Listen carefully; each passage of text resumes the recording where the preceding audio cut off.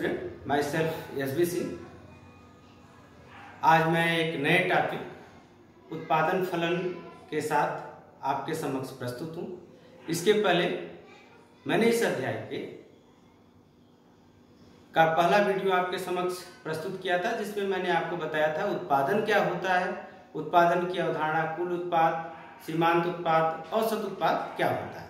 तो आज हम समझेंगे विस्तार से उत्पादन फलन क्या होता है। आप इस चैनल को सब्सक्राइब कर लीजिए, जिससे आपको मेरे आने वाले वीडियो आसानी से उपलब्ध हो सके। तो आइए देखते हैं उत्पादन फलन क्या होता है। उत्पादन फलन अर्थात प्रोडक्शन फ़ंक्शन उत्पादन फलन एक वस्तु के भौतिक आगतों तथा वस्तु के भौतिक उत्पादन के बीच फलनात्मक संबंध है। Production function is the functional relationship between quantities of physical input and quantities of physical output of goods. यहाँ हम ध्यान देंगे। यहाँ हम भौतिक आगत की जो बात कर रहे हैं वो इसलिए कर रहे हैं कि यहाँ हम केवल वस्तु के उत्पादन की बात करेंगे सेवाओं की चर्चा हम नहीं करेंगे। अब इसको इसकी उदाहरण द्वारा हम समझते हैं कि उत्पादन फलन क्या होता है। यहाँ हम दिखा रहे हैं कि उत्पादन की साधन है x1, x2, x3, xn जैसे कि लेबर, श्रम, पूंजी रॉ मटेरियल रॉ मटेरियल इत्यादि। तो उत्पादन के जो आगत होते हैं, जो साधन होते हैं, वह क्रिया करके कुछ उत्पाद तैयार करते हैं, जिसको हमने यहाँ पे क्यू लिखा है। तो यह दिखाता है कि उत्पादन के साधनों और उत्पादन के बीच किस प्रकार का क्रियात्मक अर्थात तकनीकी संबंध है।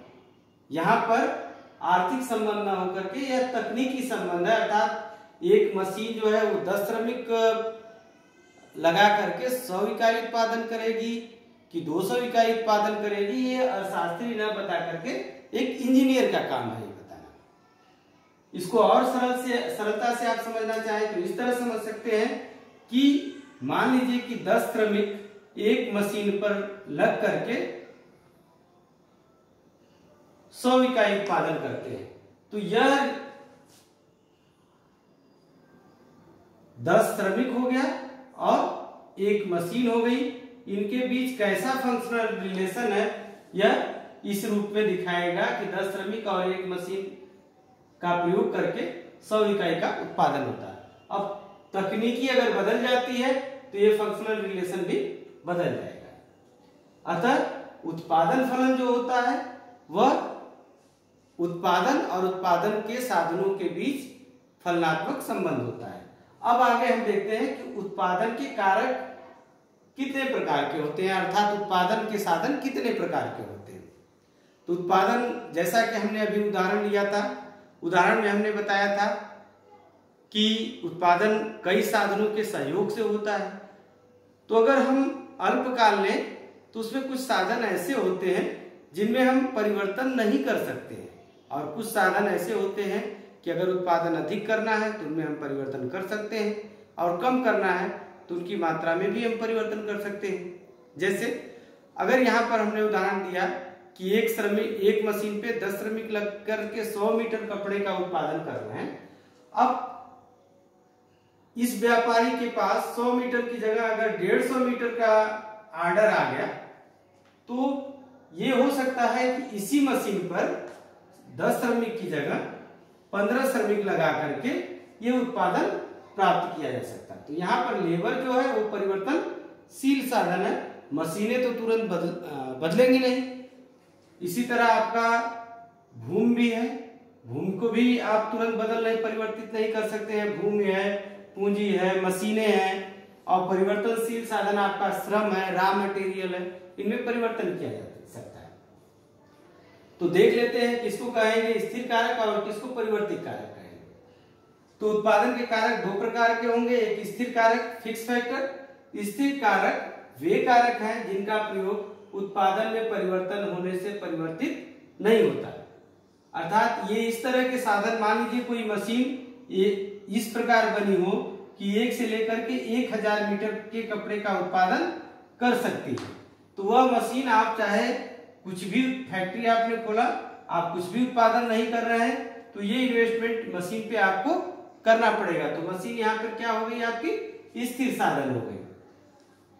दूसरा हम लेते हैं परिवर्ती कारक, यानी वेरिएबल फैक्टर परिवर्ती कारक वे कारक हैं जिनका प्रयोग उत्पादन में परिवर्तन होने से परिवर्तित होते हैं। जैसे हमने इस उदाहरण में आपको बताया था कि अगर यहाँ पे 100 से 150 ऑर्डर आ गया तो उत्पादनकर्ता को क्या करना पड़ेगा? जो उसके परिवर्तनशील साधन है, जैसे लेबर की मात्रा वो बढ़ा देगा रॉ मटेरियल बढ़ा देगा, जिससे कि उत्पादन में वृद्धि हो सके।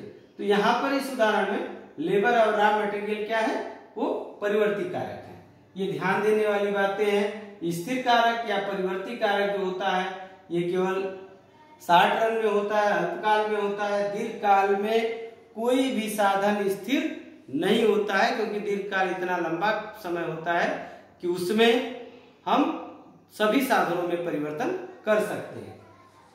तो उत्पादन फलन टाइम के आधार पर दो प्रकार के होते हैं। एक अल्पकालीन उत्पादन फलन, अल्पकालीन उत्पादन फलन उसको कहते हैं, या अल्पकालीन उत्पादन फलन में इतना समय उत्पादन करता के पास नहीं होता है कि वह सभी साधनों में परिवर्तन कर सके। वह उत्पादन के कुछ ही साधनों में परिवर्तन कर सकता है। दीर्घकालीन उत्पादन फलन अर्थात दीर्घकालीन उत्पादक के पास इतना समय होता है कि वह सभी साधनों में परिवर्तन कर सकता है। अब हम इसको, इसके आगे हम इन उत्पादन को हमने जान लिया। उत्पादन क्या होता है? सीमांत उत्पाद जान लिया क्या होता है?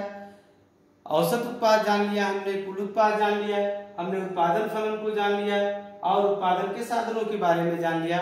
अब हम ये देखेंगे कि परिवर्तनशील अनुपात का नियम क्या होता है।